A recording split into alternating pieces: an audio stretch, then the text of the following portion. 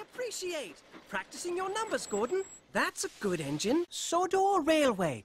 Really reliable and right on time. Signed, Head of the Railway, Sir Topham Hatt. Please excuse me.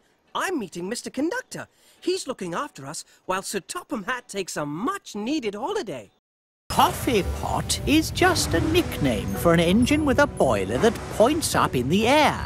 Like those things people make coffee in. Coffee pot engines used to look after one of the branch lines, but they don't work there now. Although I think the last one might still be on a siding. I don't know, Thomas. I can't explain it.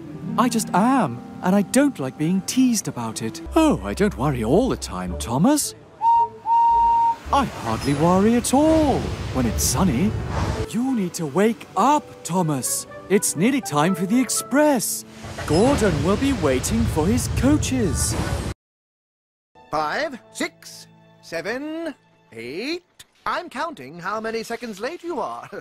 what does that sign say? James is right, little Thomas. Collecting Mr. Conductor is an important job. Hmm? Important is big. James is a big engine. Hmm? You, Thomas, are small. Small, small, teeny, weeny, weeny. And I, I'm a big blue engine who knows everything. you weren't concentrating, Thomas. Lucky for you that the buffers were there. My wheels were feeling worn out with work, so Sir Topham Hatt told me to think about all the ways I can be a really useful engine. And when I have, I can come out again. Look at me. I am the smartest, most useful engine on the line. It's too bad. Percy goes to work at the harbour and I do his job here, there and everywhere.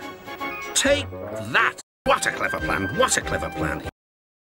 Oh, but Mr. Conductor, without your sparkle or the lost engine, you can't travel here to help us anymore. Uh, Thomas, uh, I was thinking, how does Mr. Conductor travel here? But if there's a lost engine, maybe there's a lost railway too. Mr. Conductor's railway. Buffers are at the end of a railway.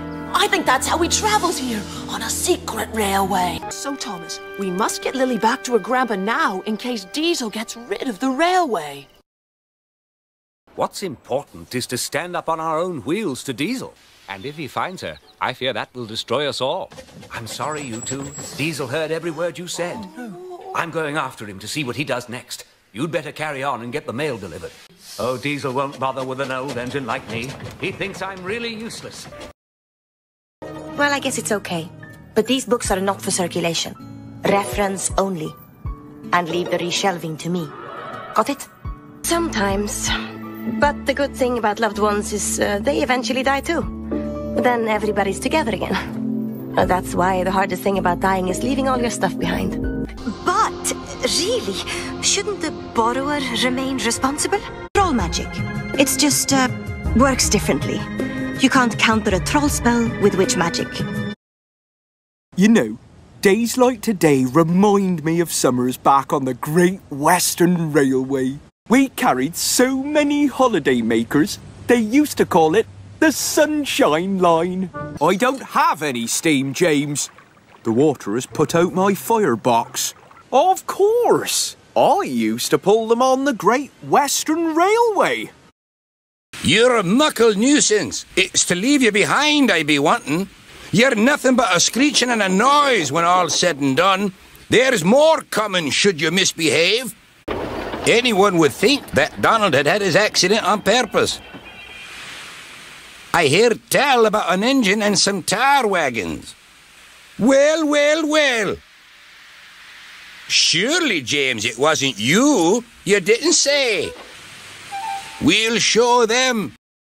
All I do is shunt these freight cars onto the turntable. I long for a nice run. It's what an engine really needs. Percy's far too busy to be bothered with the likes of you. His name's Tiger Moth, and it's flying around telling everyone about the fair that's arriving today. You're a very useful brake van, Toad. You help me brake, and you keep my freight cars in order when we go down hills. A pond is the only place for a toad, I suppose.